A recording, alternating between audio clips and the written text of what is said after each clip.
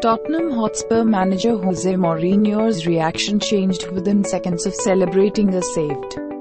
penalty during the club's match against Manchester City. The incident happened when Raheem Sterling rushed to collect the rebound from the penalty